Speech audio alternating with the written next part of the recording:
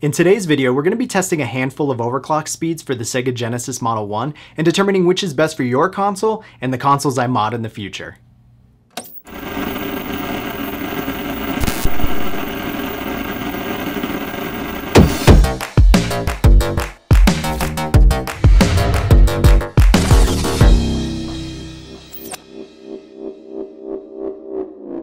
Overclocking the Sega Genesis has been one of the go-to Sega mods for quite some time now. Overclocking itself helps graphically taxing games run smoother and achieve what appears to be higher frame rates. While the 10 MHz chip is the go-to clock speed, I wanted to determine why for myself. I set out with a simple idea in mind and figured it would be fairly easy to get an objective result.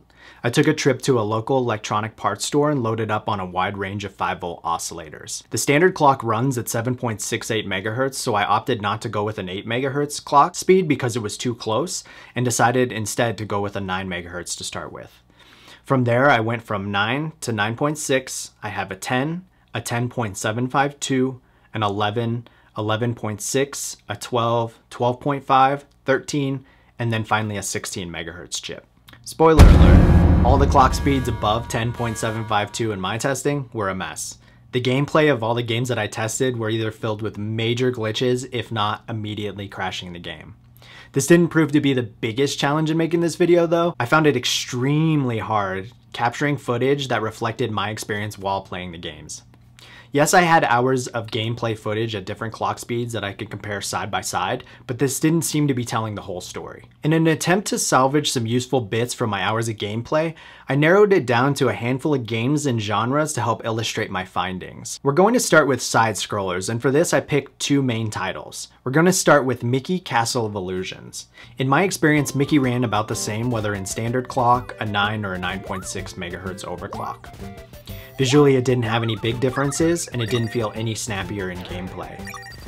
It did, however, crumble to bits at a 10 MHz overclock.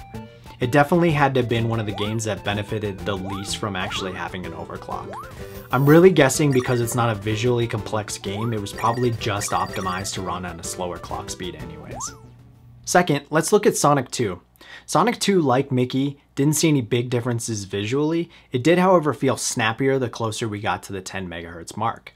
The game played the best at 10 MHz, however at 10.752, pushed it over the edge and made the game unplayable. This is really the side scroller that stood out from the rest, and I really think it had to do with the visual complexities of the game as well as the speed of gameplay. While I didn't test any other Sonic games, I was convinced that they would have played exactly the same. Next up, let's discuss fighting games, and for this we'll check out Tournament Fighters.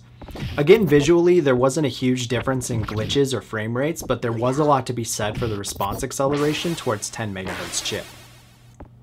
The game felt like it was much more responsive at 10 MHz, but again crashed hard at the 10.752 MHz. This chalks up another game that really seemed to hit the 10 MHz sweet spot and really gained a lot over the stock speed. For all the same reasons that Sonic saw a boost, I'm sure this genre will see the same. Next is racing games, and for this one I chose Road Rash 3. Visually, it seemed to achieve higher frame rates the closer we got to 10 MHz. The game is one of the only games that I captured that seemed to tell the story of how much smoother it played. It really felt responsive at 10 MHz, but again failed to edge past 10. At 10.752, the game crashed immediately. Again, it seems to be enveloped in this 10 MHz sweet spot that the others have, and really the same results carried through the genre. Finally, the genre that really seemed to benefit from the overclock was beat 'em ups. The most prominent results that I saw was from the game Maximum Carnage. The game itself played better the closer we edged to 10.752 MHz. It became far more responsive and visually felt like it kept up much better. This is very apparent when looking at the opening scene. While 7.68, a 9, and 9.6 MHz clocks seem to be dropping visuals, 10 and 10.752 clock speeds seem to recapture the missing visuals. In this example, Spider-Man seems to be missing while swinging when run at a lower clock speed, but reappears like he should when the clock speed is overclocked to 10 or even 10.752. My suspicion is that this might be the case for a bunch of games in the Genesis library. While Sega chose to implement a 7.68 clock speed, I think some games really worked better at higher clock speeds but had no choice but to run on a slower clock speed. While I really hoped in basking in the glory of having a competently overclocked 16 megahertz of a beast Sega Genesis, it just wasn't in the cards. It's not as sexy, but sometimes the best options are the ones that most people agree upon in the first place. The truth is though, if you're into beat 'em ups, fighters, or even racing games, you're gonna benefit from the 10 megahertz overclock. It's a happy medium that yields the best results graphically while having the least amount of graphical issues. However, in an effort to achieve clock speed dominance, stay tuned to my channel for part 2 where we push the boundaries of the Model 2.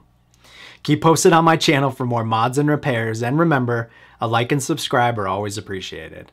Thanks again for your support, and we will catch you guys later.